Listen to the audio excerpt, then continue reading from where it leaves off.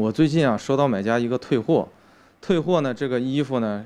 呃，裤子裤子有大面积的这个异物，而且是红色的。丁先生说的就是这条连体裤，售价一百五十五块钱。他说，正常情况下，买家退回的货物，自己会当着快递员的面拆封检查，然后决定是否退款。可最近比较缺人手，当时他看到这件衣服外包装完好，吊牌也在，就直接给买家退了款。直到有别的顾客下单，自己检查发货时，才发现这条连体裤有问题。因为我们这个衣服是双层，这个下面里面，而且裤子里面还有里衬，根本就不透。你根本这个衣服你根本就看不出来任何这个东西，就是一个全新的衣服。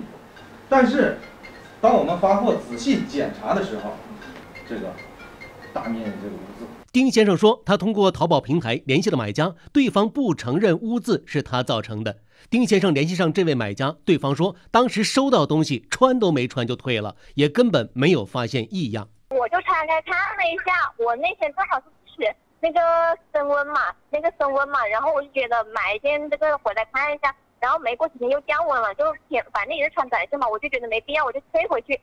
然后他就把电话威胁我，啊，我会做这种事情吗？小周表示，因为这样他才在平台上说你再骚扰我，我举报你。但对于小周的说法，丁先生否认了。到淘宝那边投诉我，啊，说我这个呃呃语言不当，啊是有那个不文明语言。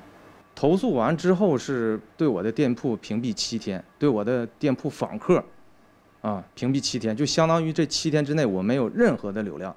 那你有没有类似的不文明语言？嗯，没有没有，我这个聊天记录全部都在。在淘宝上面骂我，打电话骚扰我，然后嘞。他说：“如果是我不承认的话，他直接说报警啊，然后报到你们这个，呃，什么曝光我的信息啊，威胁我。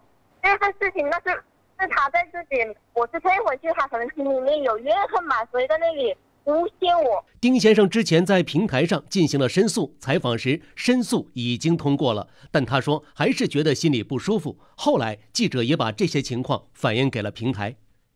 幺八黄健记者报道。